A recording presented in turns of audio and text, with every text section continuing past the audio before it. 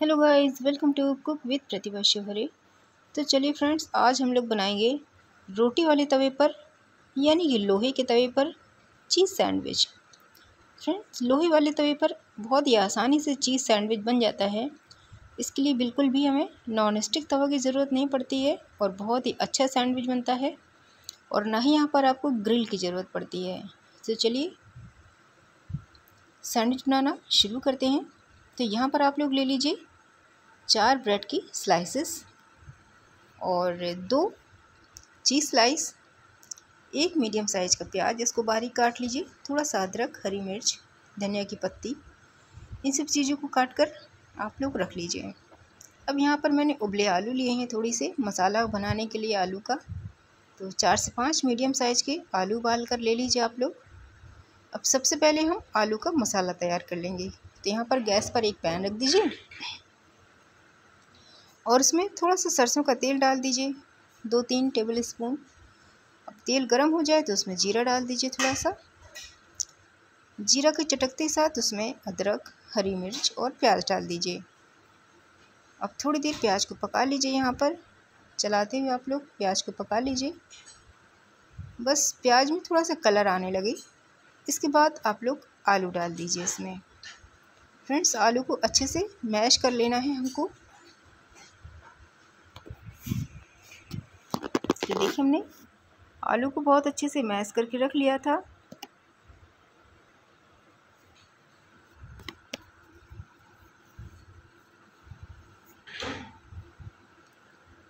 अब प्याज के साथ हम आलू को इस तरह से मिक्स करते हुए अच्छे से चलाएँगे। ताकि हमारे आलू में अच्छे से प्याज मिक्स हो जाए। और अब इसमें डालेंगे हम स्वाद के अनुसार नमक। तो यहाँ हम डालेंगे एक छोटा चम्मच नमक। आप लोग जिस हिसाब से बनाएँ, उसी हिसाब से नमक डाल दें। थोड़ा सा भुना हुआ जीरा का पाउडर। फ्रेंड्स, यहाँ पर आप लोग भुने हुए जीरा का पाउडर हमेशा घर पे भून कर पीस कर रख लीजिए, क्योंकि वो बहुत ही काम आता है। और किसी भी चाट में डालिए, आप लोग बहुत ही टेस्टी लगता है। तो यहाँ पर मैंने डाली है थोड़ी सी धनिया की पत्ती और थोड़ी सी फ्रेश पुदीने की पत्तियाँ डाली फ्रेंड्स। पुदीने का सीज़न है तो थोड़ी सी डाल देंगे तो बहुत ही अच्छा फ्लेवर आता है उसका। अब चलिए दो तीन मिनट आलू को इसी तरह से चलाते हुए भून लीजिए। और इसमें आप अमचूर का पाउडर डालना चाहते हैं तो डाल दीजिए, बहुत ही अच्छा फ्लेवर आता है उसका। तो देखिए फ्रेंड्स, हमारा मसाला बन गया था और हमने प्लेट में फैलाकर उसको रख दिया था तो थोड़ा ठंडा भी हो गया है वो। चलिए अब सैंडविच बनाने की तैयारी करते हैं। तो यहाँ पर एक ब्रेड की स्लाइस लेंगे और उसमें थोड़ी सी चटनी लगा लेंगे। फ्रेंड्स, या तो आप लोग सैंडविच वाली चटनी लगा लीजिए या घर पे कोई चटनी रखी हो अगर टमाटर की या कच्चे आम की चटनी तो वो भी लगा सकते हैं जिसमें यहाँ पर लगा रही हूँ कच्चे आम की चटनी। मेरे पास वो पहले से बनी रखी थी तो मैं उसी को लगा देती हूँ। अब यहाँ पर आलू का मसाला हम अच्छे से ब्रेड में लगा देंगे और उसको स्प्रेड कर देंगे, अच्छे से फैला देंगे पूरी ब्रेड में। तो आलू का मसाला आप अच्छे से ही लगाइए, खूब ज़्यादा सा, ताकि जब सैंडविच इसका बनाएँ हम तो बहुत ही टेस्टी लगे फ्रेंड्स ये आलू का मसाला बहुत ही टेस्टी बनता है, आप इसके और भी सारे स्नैक्स बना सकते हैं फ्रेंड्स जैसे कि आप इसके आलू बंडे बना सकते हैं ब्रेड पकौड़े भी बना सकते हैं। ब्रेड रोल भी बना सकते हैं। तो ये ऑल इन वन टाइप का आलू का मसाला होता है फ्रेंड्स तो बहुत सारे नाश्ते इस आलू से बन जाते हैं। देखिए मैंने दो ब्रेड में आलू का मसाला लगा लिया है। अब हम दोनों ब्रेड में एक एक चीज़ स्लाइस रख देंगे।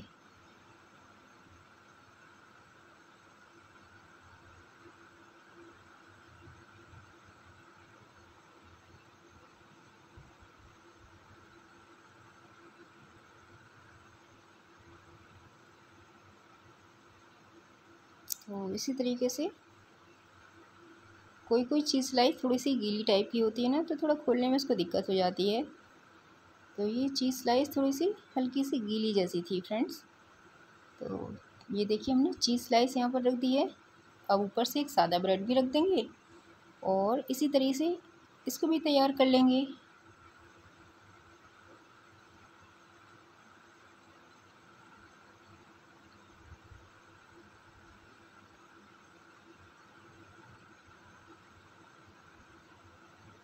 ये देखिए हमने दोनों। ब्रेड के ऊपर चीज़ स्लाइस रख लिया है। अब इस ब्रेड के ऊपर भी हम एक सादा ब्रेड रख देंगे इस तरीके से। तो चलिए हमारी ब्रेड तैयार हैं सैंडविच बनने के लिए। तो चलिए अब सैंडविच भी बना लेते हैं। तो यहाँ पर लोहे का तवा हमने गर्म होने के लिए रख दिया है फ्रेंड्स। ये रोटी बनाने वाला तवा है। बस थोड़ा सा हमने घी डाला है इसमें पहले से। और बस हल्का सा घी गर्म हो जाए तो आप ब्रेड को सिकने के लिए रख दीजिए। सैंडविच को बस दोनों तरफ़ से प्रेस करते हुए सेक लेना है और सबसे पहले आपको जिस साइड हमने आलू रखा था ना, उस साइड को नीचे रखना है पहले। इसके बाद हम पलटा देंगे। तो जिस साइड हमने चीज़ रखा था, बाद में हम उस साइड को सेकेंगे और इसको दबा दबा कर दोनों तरफ़ से क्रिस्पी होने तक सेक लेंगे। बस एक से दो मिनट के अंदर आपका सैंडविच बनकर एकदम तैयार हो जाएगा। और इसका चीज़ बहुत ही अच्छे से मेल्ट हो जाता है फ्रेंड्स, एक दो मिनट के अंदर। तवे में सेकने से भी चीज़ बहुत अच्छे से मेल्ट होता है। तो आप लोग तवे में बहुत ही आसानी से सैंडविच बना सकते हैं। कोई भी टाइप का सैंडविच आप तवे पर आसानी से बना सकते हैं। ग्रिल हो, चाहे ना हो, इससे कोई फ़र्क नहीं पड़ता है कि हमारे पास ग्रिल नहीं है तो हम अच्छा सैंडविच नहीं खा सकते, ऐसी बात नहीं है। आप तवे पर भी बहुत ही अच्छा सैंडविच बना कर तैयार कर सकते हैं। बहुत ही टेस्टी लगता है फ्रेंड्स ये। तो ज़रूर बनाइए आप लोग इस तरीके से सैंडविच। और क्योंकि ये चीज़ वाला है तो ये बहुत ही अच्छा लगता है खाने में। और बच्चे तो बहुत पसंद करते हैं ये चीज़ सैंडविच। तो चलिए इसी तरीके से हम दूसरा सैंडविच भी अपना सेक लेते हैं।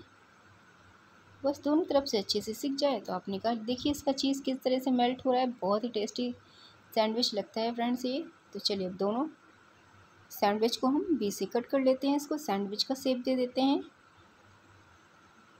बस जिस स्पैचुला से हमने सेका है, उसी से कट कर लेंगे, बहुत ही आसानी से कट हो जाता है। यहाँ तो हमें चाकू से भी काटने की ज़रूरत नहीं है। ये देखिए हमारा सैंडविच कट गया है, ये देखिए चीज़ कितना बढ़िया दिख रहा है। और खाने में भी बहुत ही टेस्टी लगता है। जितना टेस्टी देखने में लग रहा है ना फ्रेंड्स, उतना टेस्टी खाने में भी लगता है ये सैंडविच। तो ज़रूर ट्राई कीजिएगा। इस सैंडविच की रेसिपी को।